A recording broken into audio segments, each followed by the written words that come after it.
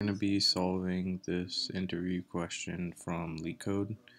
Um, so basically what is this saying? It's saying given the array numbers for each num sub i, find out how many numbers in the array are smaller than it.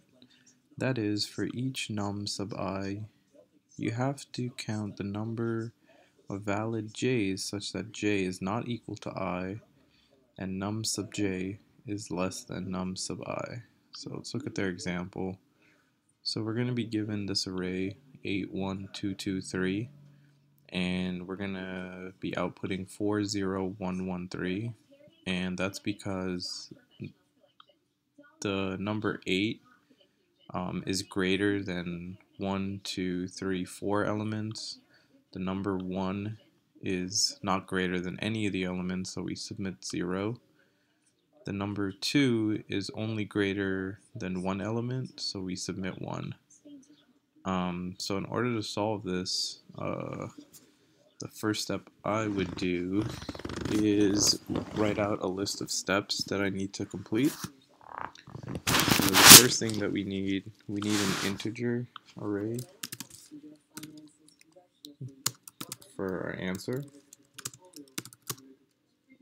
And the integer array is going to be the same size as nums.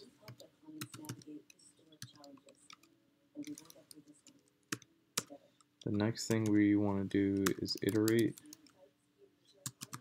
through the nums array.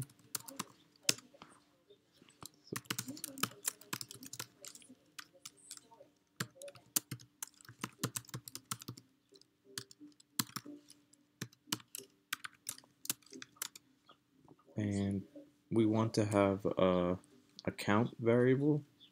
So that will keep track of the number of uh, elements that are smaller. So for example we're using 8 our count variable will keep track that 8 is larger than 1, 2, 3, 1, 2, 2, and 3 so create an integer. Count equals 0. Um, next thing we have to do is grab the first index.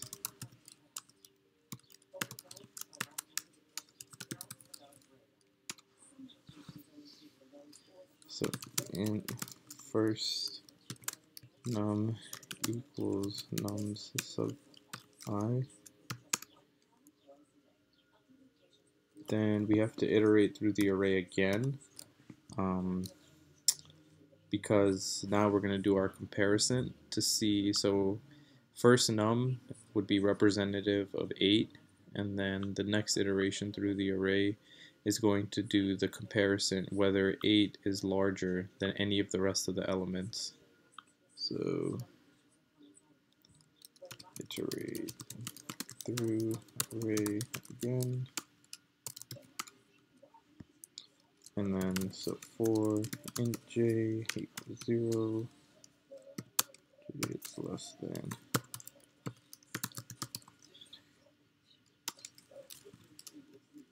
J plus plus. And then so our comparison step is the only case where this account should be incremented would be if the first num is greater than nums sub j, um, then we count plus plus. Otherwise, we don't do anything. And then outside of this loop, but still inside the first for loop, we want to add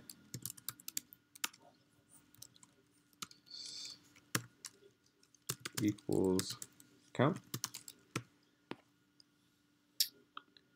And then finally, we want to return answer. And then let's run our code with a test case, see if everything looks good. So far it looks good. Let's submit it. And we got a success.